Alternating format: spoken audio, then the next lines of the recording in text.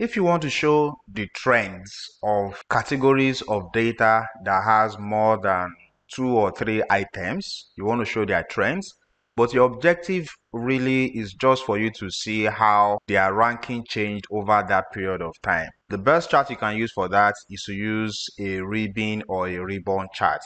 So if I go still to the second line of my visualizations pane, the last chart we have there is a ribbon chart. So I'm going to select that ribbon chart and I'm going to drag it and place it just underneath the line chart I created. So I want to expand it first and then I want to reduce the size.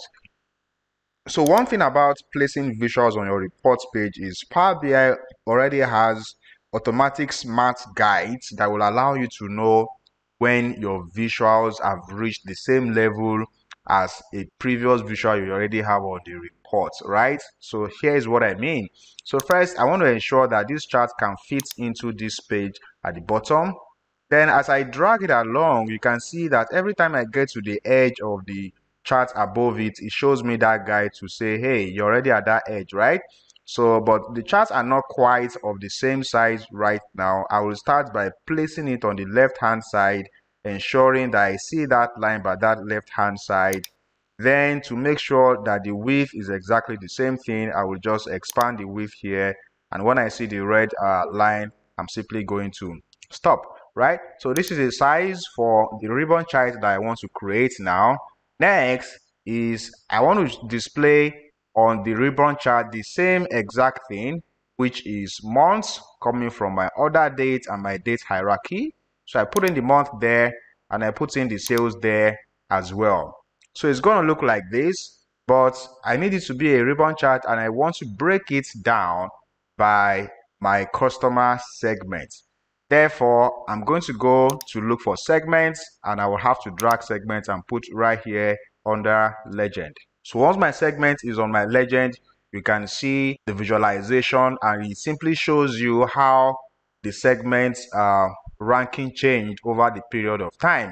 If I come here to click on the focus mode, then we can see things more clearly and it's actually very obvious that consumer segment has always been the highest um, sales earning segments across all the period of time except for the month of October right so if you check through you will see it's the highest as at this point but by the time it gets to the month of October then corporate segment basically just came to overtake consumer segment and you also see here that the home office segment has always been the lowest all through the period so the way to read this ribbon chart is for every single month, you will see that there are always two sections for the month, right? So if you look at January, for example, there is this section um, and then there is a different section by the side here, right? So the section for January began here.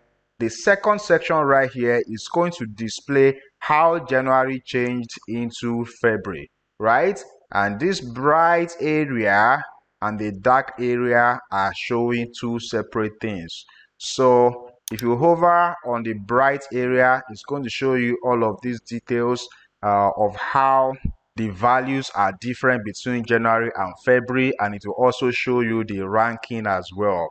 More or less like showing you the month on month variance between January and February while also showing you the rank differences. And when you check on the darker grade side or the darker shaded side, it's simply going to show you the value for February alone.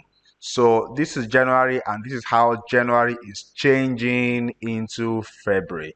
Now, when we go to check in the month of October that we identified, we can see that going from the month of September into October, you can see that I'm currently hovering on consumer and you see how the rank of consumer changed from first to second, dropping by one value. You will also see the sales variance as well. So I'm just going to go back to reports. And uh, I think the only thing I want to change here is to go to format. I want to go to general and I want to go to effects and put on what I want to put on the shadows. So shadow on and also I need to change the title.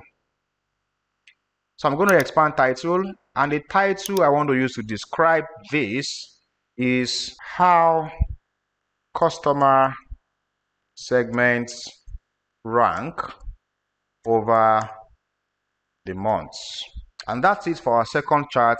Next, we are going to try to create the average sales per day of the week.